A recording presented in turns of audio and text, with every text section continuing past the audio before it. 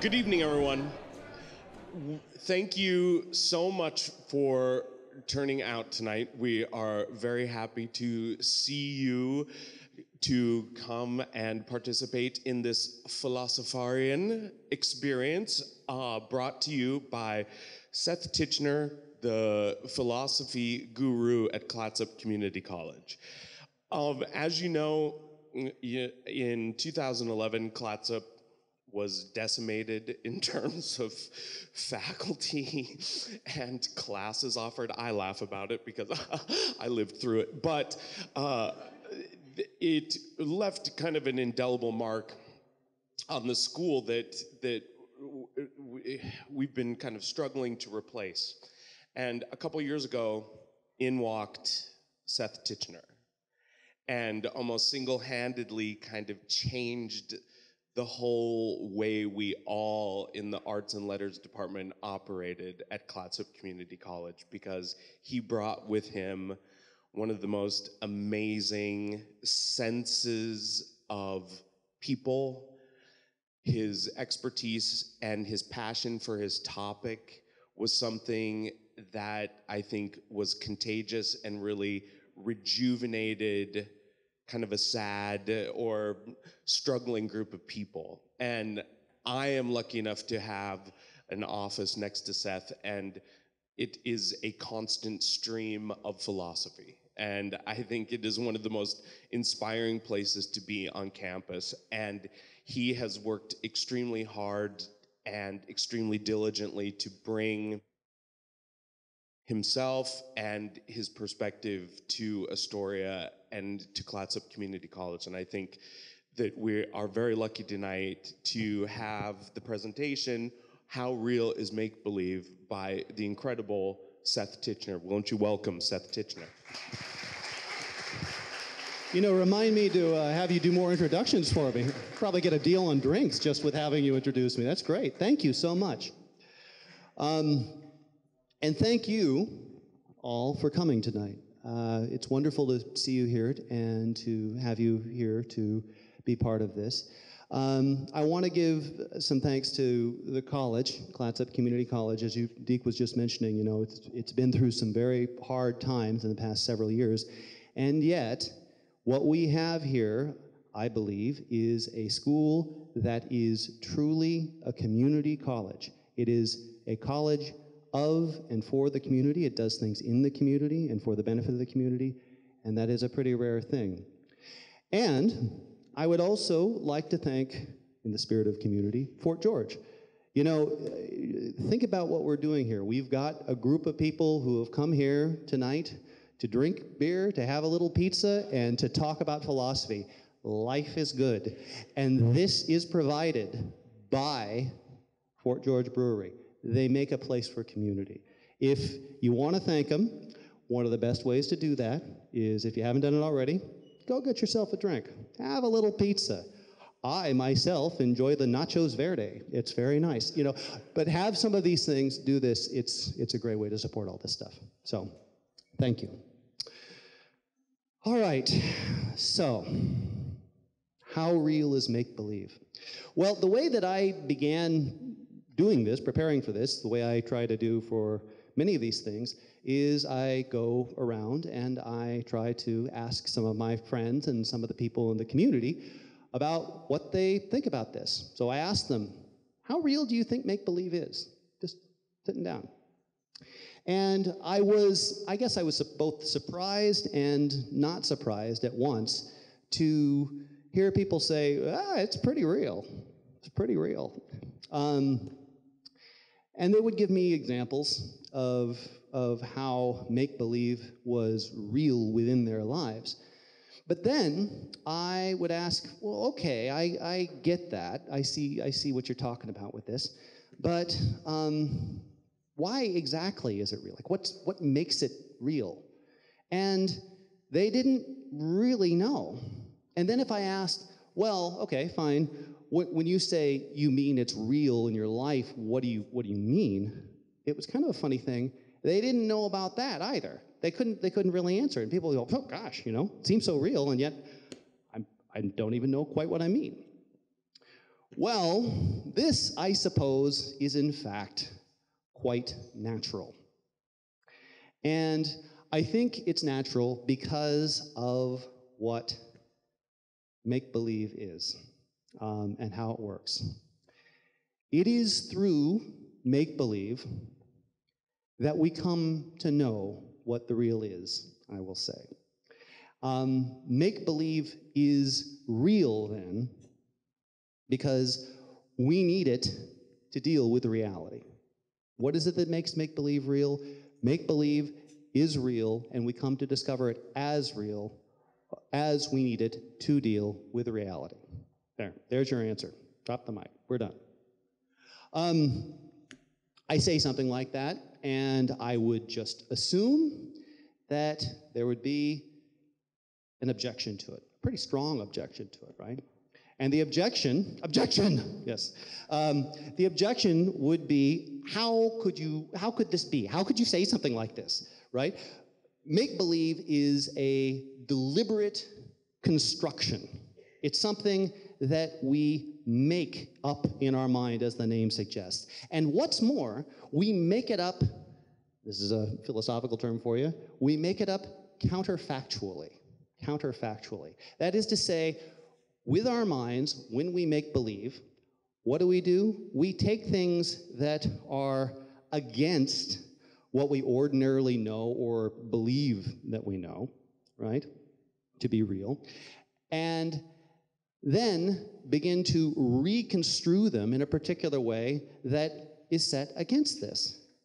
Now, if that's the case, if that's what we're doing, how could it be that we come to know what the real is through make believe? It seems to be absolutely against this. And that's a, that's a good response. That's a natural thing. Seems like we need to drop the mic again. I mean, it just, it's one of those things where you wonder what, what does this mean? Um, and it would, in some ways, almost seem to end the argument. It might be something you say, well, it's all fine and well to say make believe helps you know reality until you consider how much it stands against reality, so, you know, shut up. But then there's one more response, a response that we'd want to bring into this, a response where we begin to get a little bit deeper into this. We pull out the big philosophical guns and we ask a doozy of a question, a classical question what exactly do we mean by real?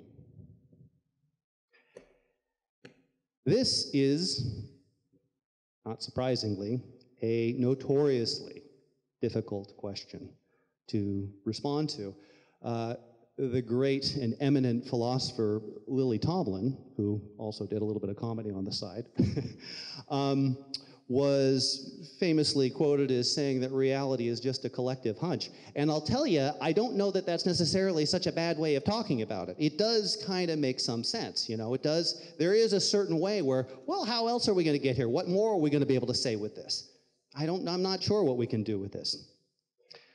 But if we're going to look into the philosoph- philosophical dimensions of this, one of the things that we want to be able to do is we want to be able to not just make uh, clever and oblique remarks about, about, uh, about the real. We want to look at the reasons why it stands as it does. And I think that there are at least three reasons that we can see that, that asking this question, what exactly is meant by the term real, is as tough as it is. But they're questions that if we begin, or reasons that if we begin to look at a little bit, it's going to help us, I think, come around to the make believe part. So, why exactly is asking, what do we mean by the real so tough? Well, the first is probably pretty obvious, which is it is a deep question. And when I say a deep question, what I mean by deep is I mean everything else rests upon it. You know, you can take a porch light, a lava lamp, a speck of dust from Afghanistan, the thought of a child who lived in Mozambique in 1731, uh, a number, 274.3, And you can take all of these things together and you could just keep going and going and going and going and going.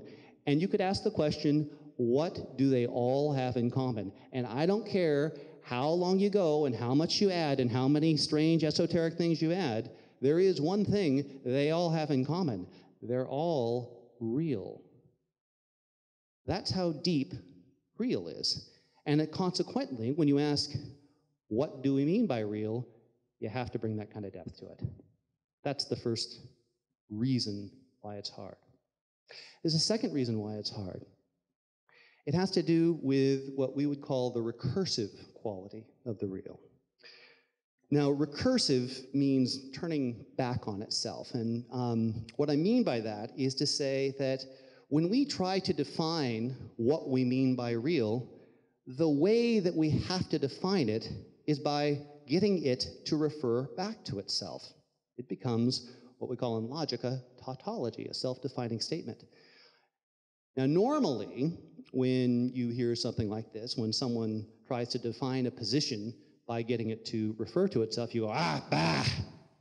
Maybe, I don't know if you do bah, but I would. But you, what you do is you go, you, I forget this, it's circular, it's not proving anything, it's not showing anything, it's not legitimate. And rightly so, you're not learning anything new from it if you, with most circular arguments. But this reality, this is different. It's different for the, for the reason that we were just talking about before. It's because everything rests upon what's real. And so, far from being absurd, by necessity, by necessity, you have to have a way in which the real defines itself. It creates a paradox with something like this.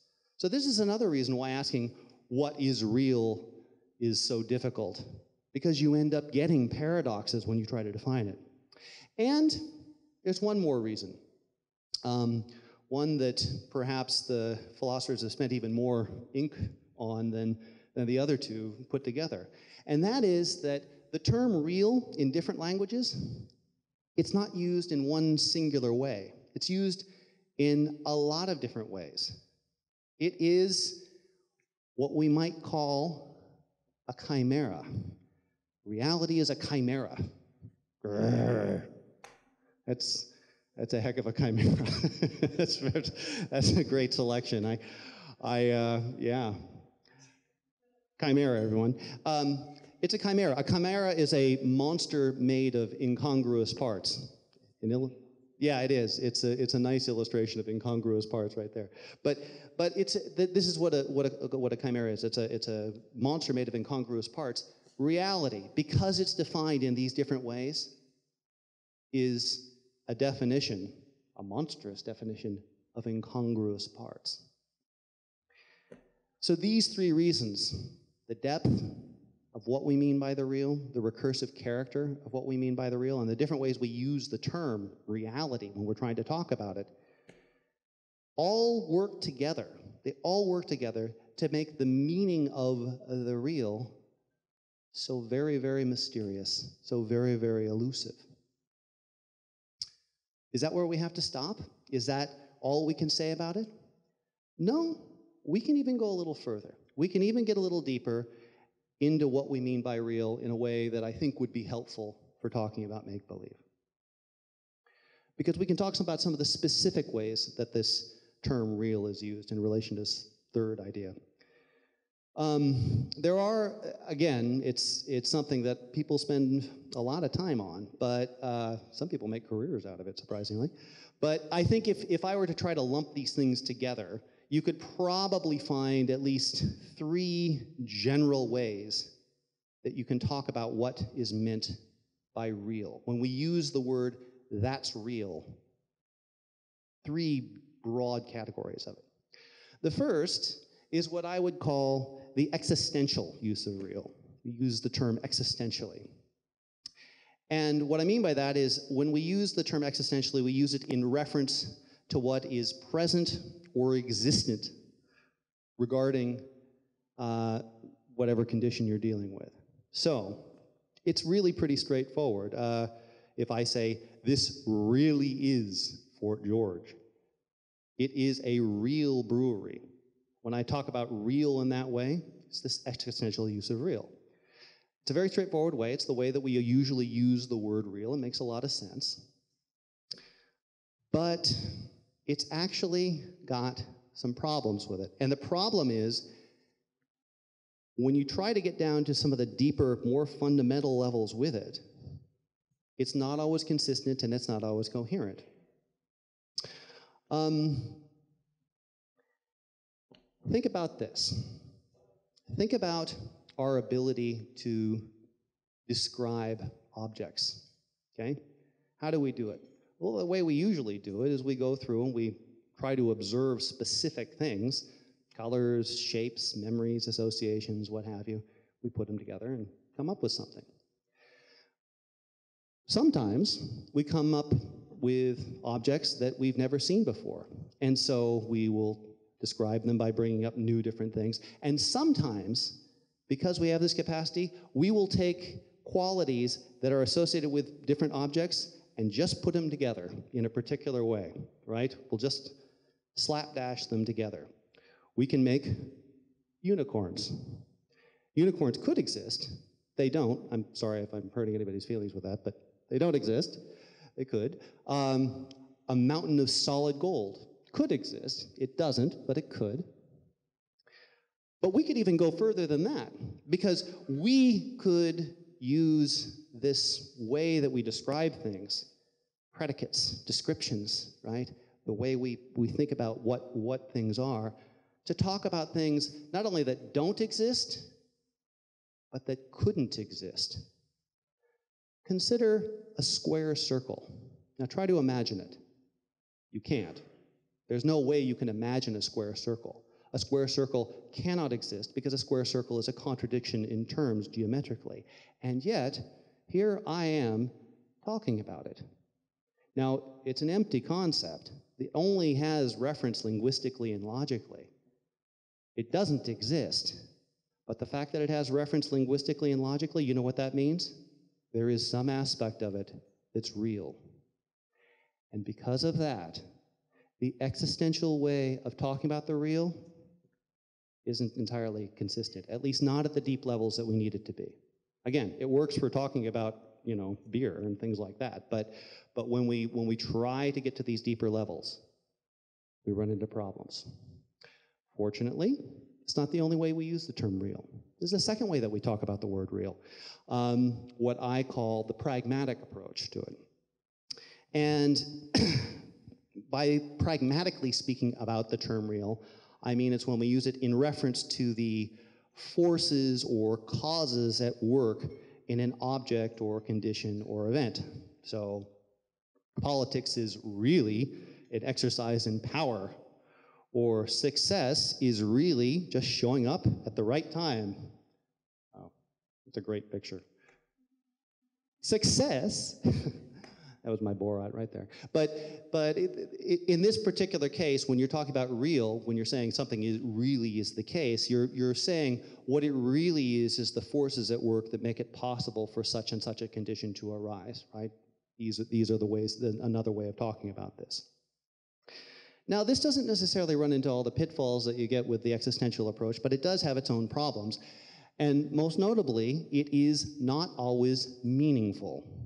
It's not always meaningful. It's not always meaningful because we don't know fundamentally what these forces or causes are that we're saying the reality of the situation are. In fact, we don't know fundamentally, and I do mean this fundamentally is key here, we don't know fundamentally whether there are forces or causes at work at all. What do I mean? Let me pull another philosopher out of my back pocket here. A guy named uh, David Hume. Some of you probably have heard of David Hume before. I actually was just talking to my class today about David Hume. We were introducing him. David Hume, who, by the way, you know, if you ever want a philosopher who you could just sort of have a, a, crush on and wish he is your favorite uncle or something like that, David Hume is the guy. He's fantastic. He used to wear a turban. He's really fat. He was really happy. Just great. He would he would love it at Fort George. Fantastic human being. Really good guy. But one of the things that uh, um, David Hume is famous for is talking about how little we can actually assert the reality of causality at all. And I don't just mean specific causes like this cause or that cause, I mean that there is such a thing in the universe as cause. He'll say, oh, well, it seems as though there's cause, but if we break down what it is, he says, well, really it amounts to a matter of habit, a, a series of associations that we get in the habit of putting together with regard to events and saying that's what we have. How so? Famously, he illustrates, he has a lot of famous illustrations with this, but one of them is with playing billiards. He was Scottish, so it's not pool, it's billiards. So um, that was my billiards shot. Um, so he says, I'm, playing, I'm playing billiards at a pub much like Fort George, and I hit the cue ball. And the cue ball goes and it hits another ball. Now, when I play billiards, my whole plan about playing billiards is that I intend to use the cue ball to hit the other ball and it's supposed to have a chain reaction, a series of cause and effect. This is what this is the basis of the game.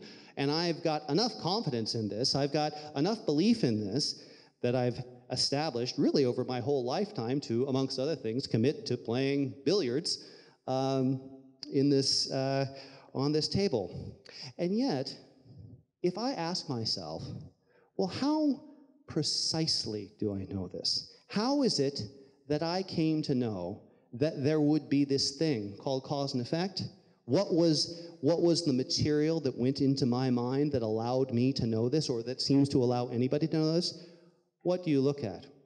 You look at your experiences, your flawed, narrow, short, ignorant experiences, your perspective on the world. I mean, think, think about just looking out here right now, okay?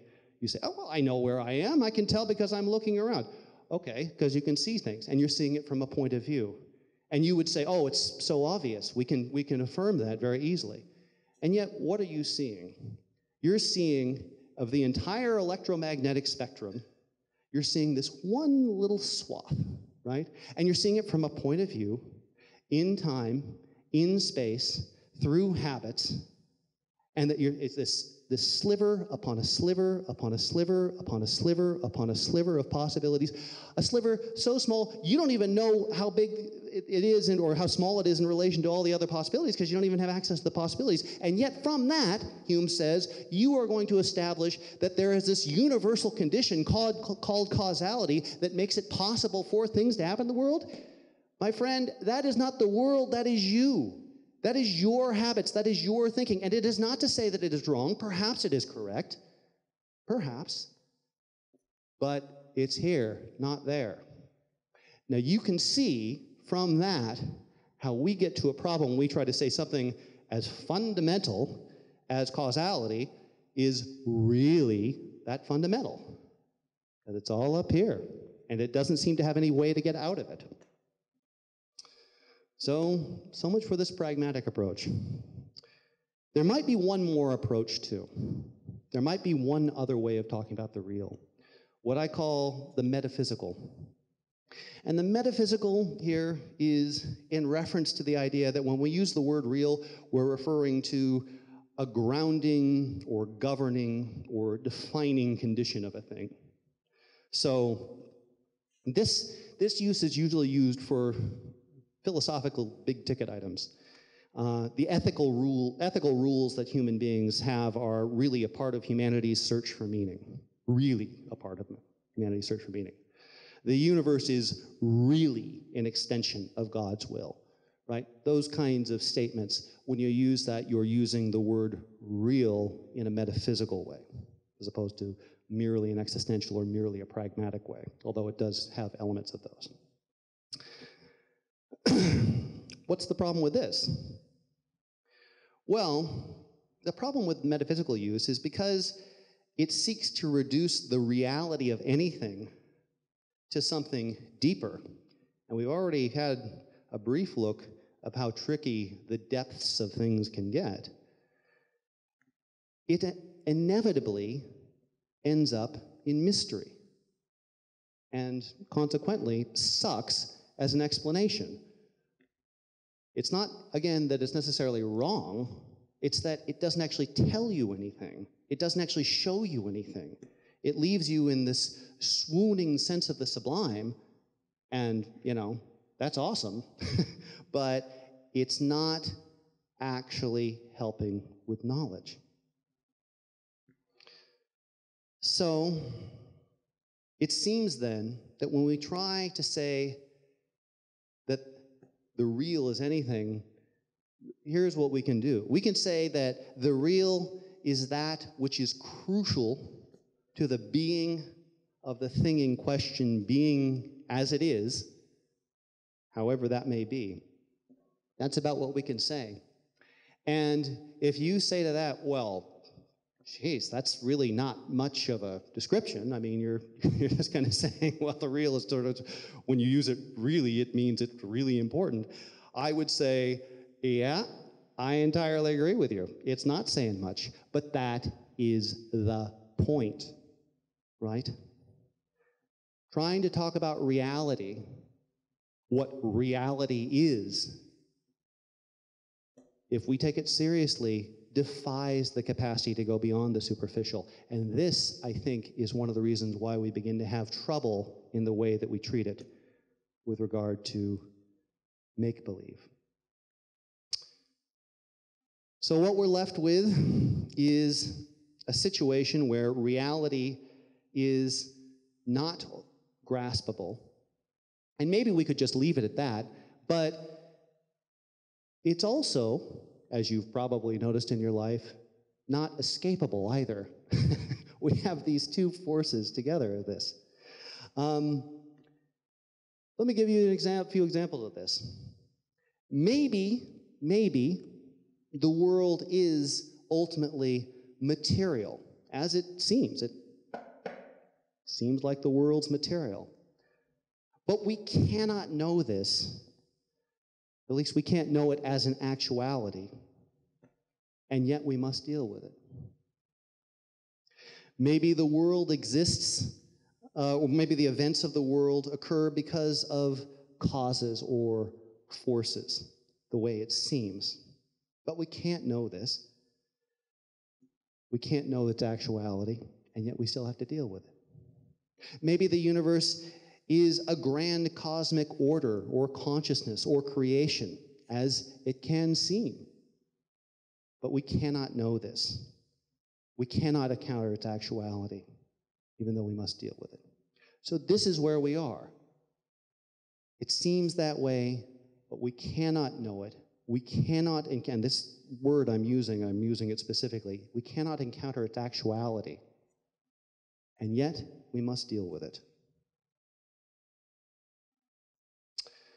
What shall we do?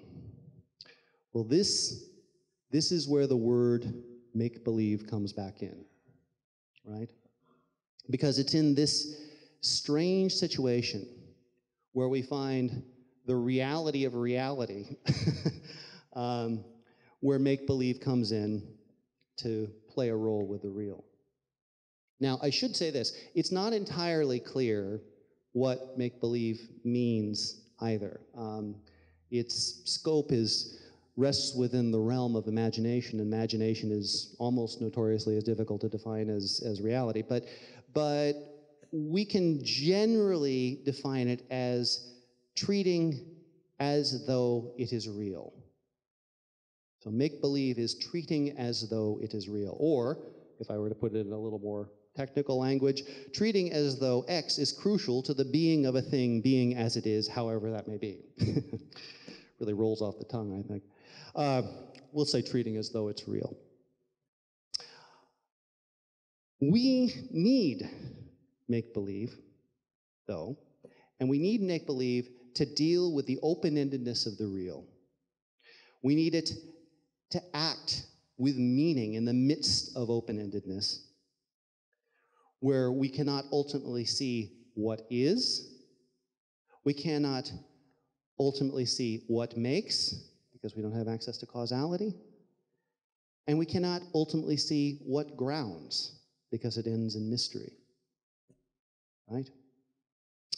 So, we need it. We need it for this open endedness. Great, okay. we need it. Well, what, what's it do? How does it work? What, when we use make believe, when we, when we treat things as though, how does it help us with this mysterious abyss called reality, which we try to pretend is not there, which we try to pretend is simple, which we try to pretend can be reduced to the actual and yet cannot?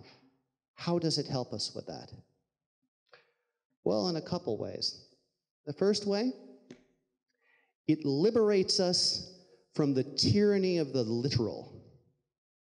Make believe liberates us from the tyranny of the literal. Let me tell you what I mean by this. There's an unfortunate feature in our culture, and I, I think it probably even extends beyond our culture, but I certainly know it extends in our culture, modern world, where we tend to make literal be equivalent to actual. We say if something is literally true, that means it's actually true.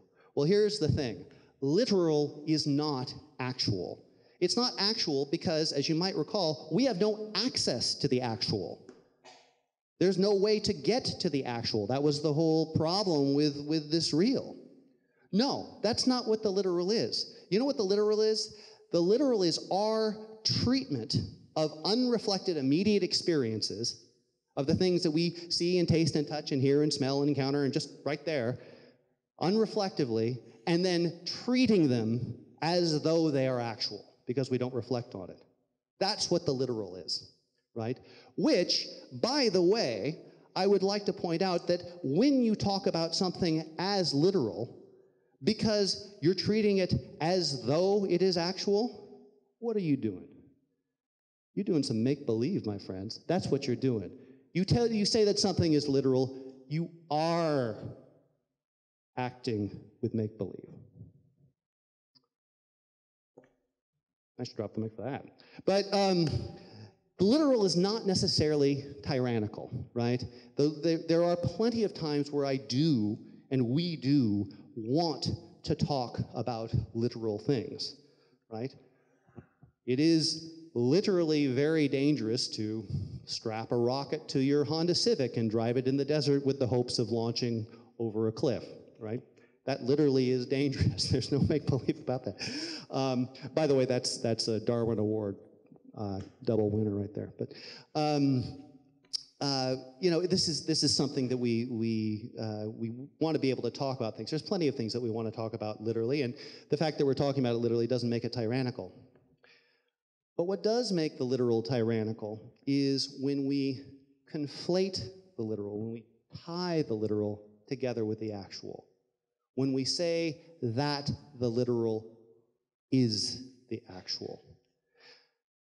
And the reason that's a kind of tyranny is because it, it's a kind of self imposed mental poverty. It deprives us of our capacity to engage with that elusive real world. Another thing that make believe does, probably even more important, it generates the possibility for action in the real world.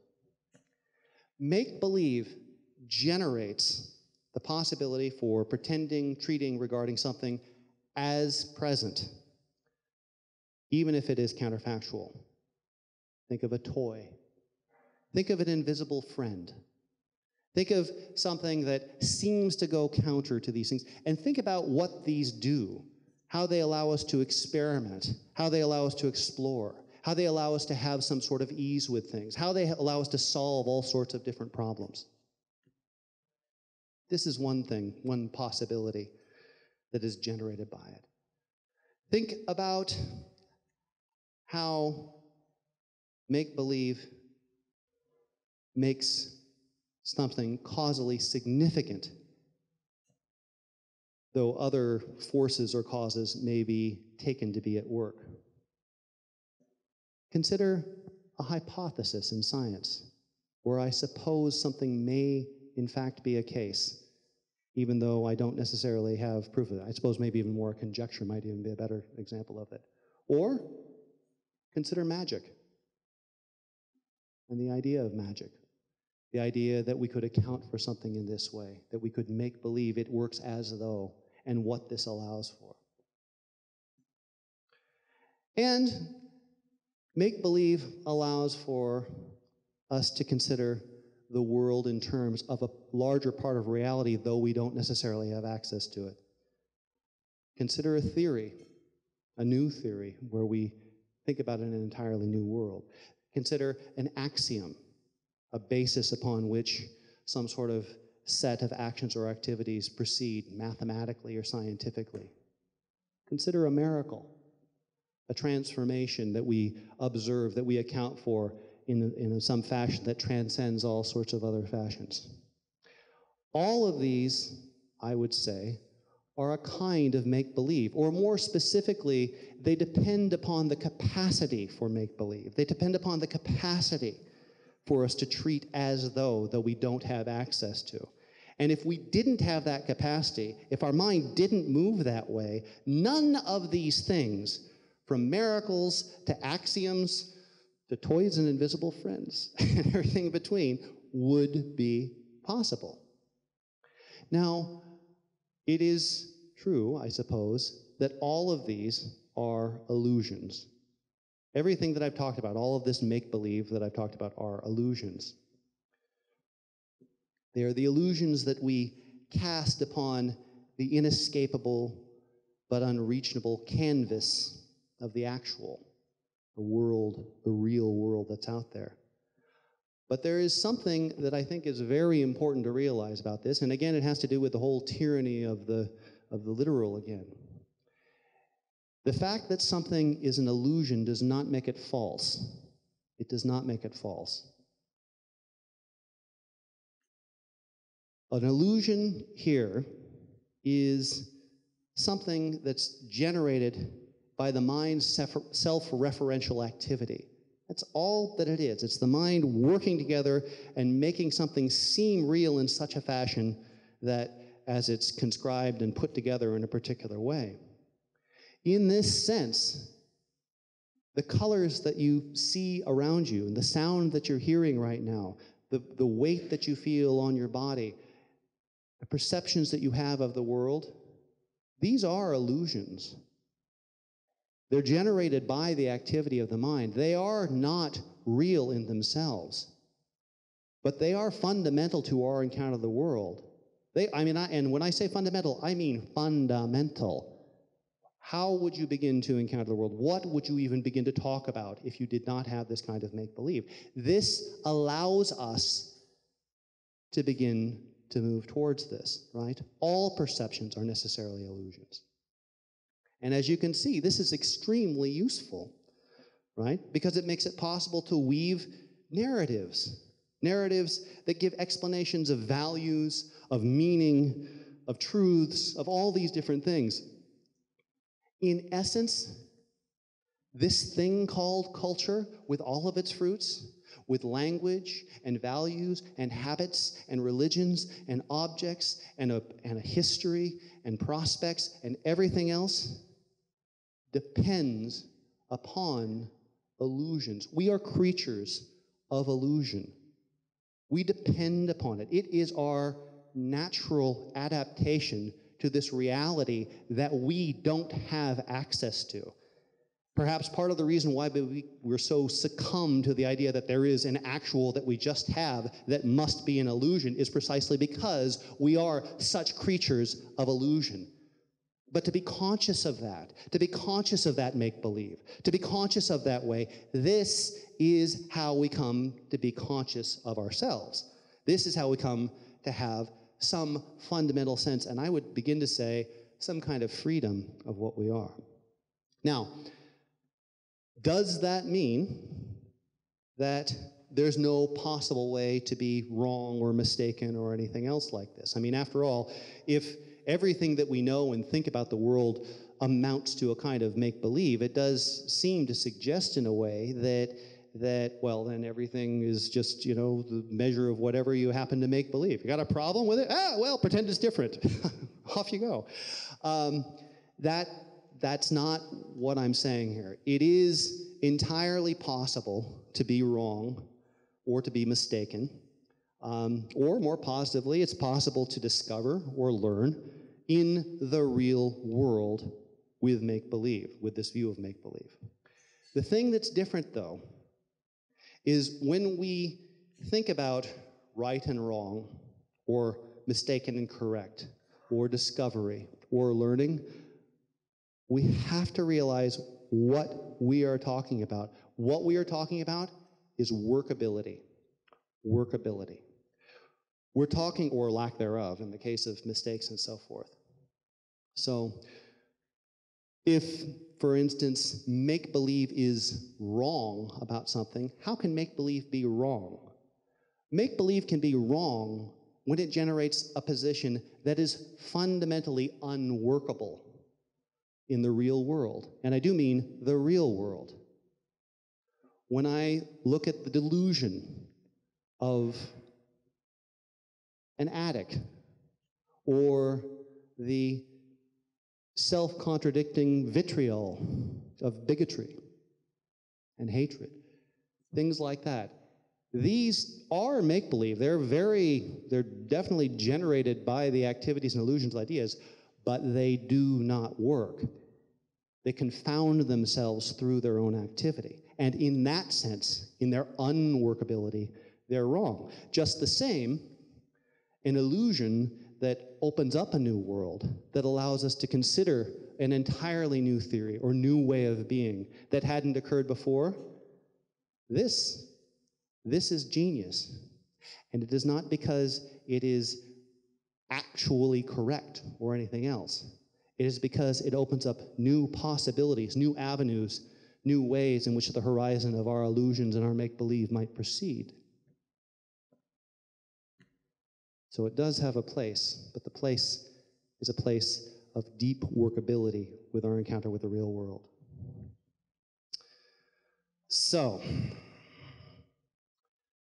given the way that make believe is real, and it's re- as real as it needs to be, as I was saying with these illusions, and allows for us to work with the real world, this is why we need a few other things.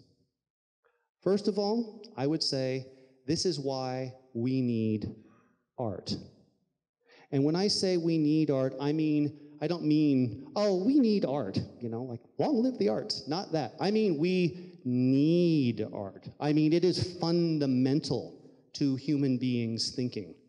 It is fundamental to our capacity to use this thing called make believe to encounter the world and make meaningful and workable illusions to be able to encounter and work our way through things. We need it because it is through art, and I mean art in the broad sense. I don't just mean, you know, the, the painting and poetry and things like that. These are crucial, these are central to it, I would say, and actually have their own special values. They need to be lifted up and protected, but I mean it broadly.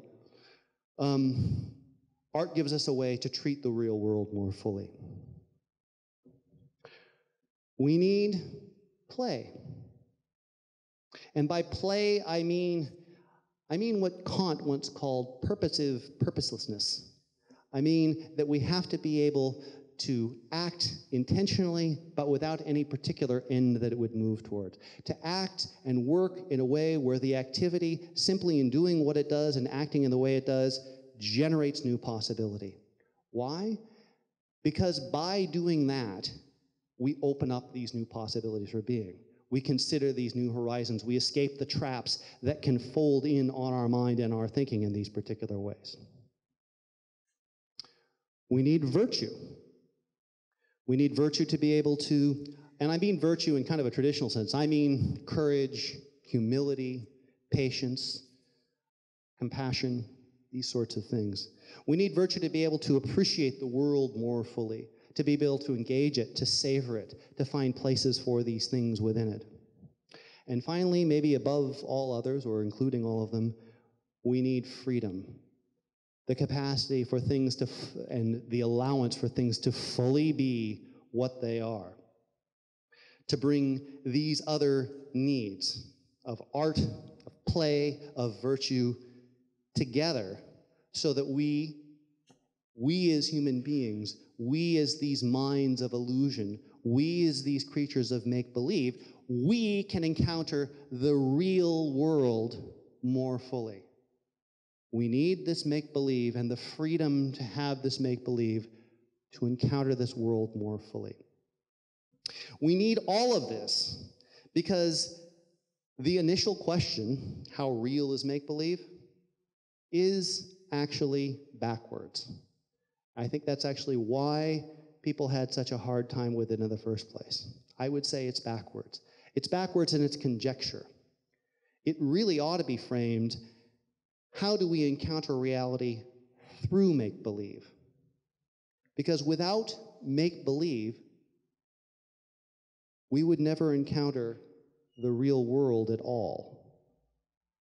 Without make believe, we would never encounter the real world at all.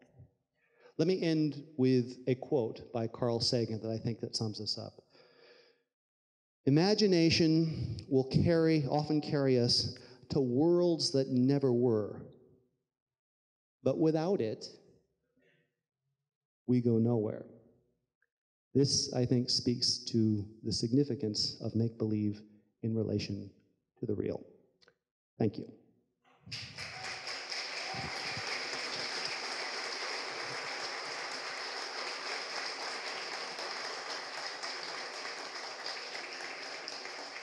Are there, uh, are there any questions?